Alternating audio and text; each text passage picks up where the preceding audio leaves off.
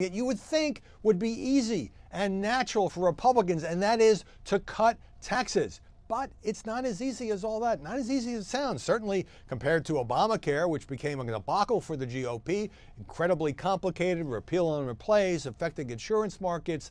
This is a pretty straightforward proposition.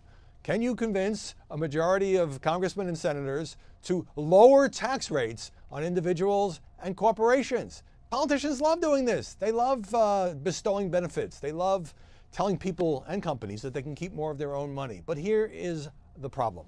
The problem is, first of all, you always have this tension between Republicans and Democrats. I don't care what administration you're talking about, where Republicans want to give more benefits to the people they see as paying more of the taxes at the top of the income scale, and the Democrats cry uh, tax break for the rich, favoring the wealthy, screwing the middle class, and that makes it difficult. So even with President Trump and his new friends Chuck and Nancy uh, uh, opening diplomatic relationships, it's going to be difficult, I should say, uh, to cut some kind of deal. But then you have the divisions within the Republican Party.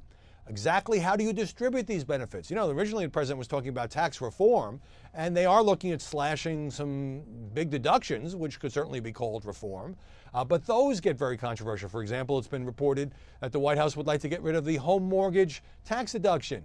Incredibly expensive, incredibly popular. People on the Hill saying there's no way you can do it politically because it is so popular, and I suspect they are right. Same thing for deductions on uh, uh, state and local taxes, which benefits more uh, taxpayers in um, high tax states, tend to be blue states.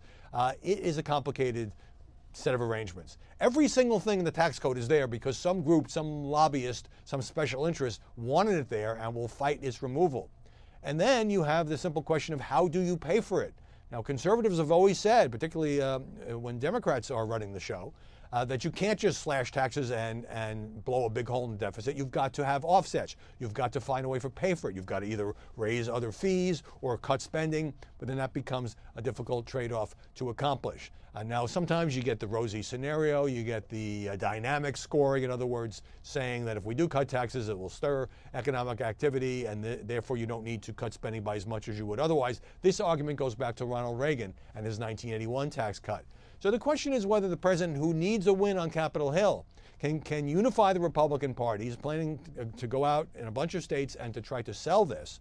Unify the Republican Party to the point where he, with some Democratic votes, could get to 60 in the Senate, or to do the convoluted budget reconciliation thing that failed on Obamacare to get to 50 or 51 votes in the Senate, um, and to try to sell this thing and to do it by Thanksgiving or Christmas.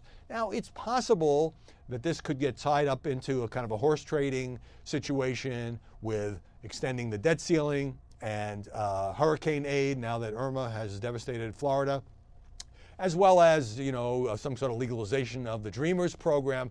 Yeah, that all sounds good when pundits write about it, talk about it, when our editorial writers say, sure, we could have a grand bargain. You know, Trump will give up this, the Republicans will give up that, the Democrats will compromise on this, everybody will get a piece of something they like, everybody will be happy.